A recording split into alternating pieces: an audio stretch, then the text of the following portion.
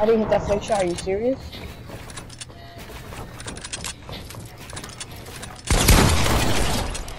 Oh, someone picked up RPG.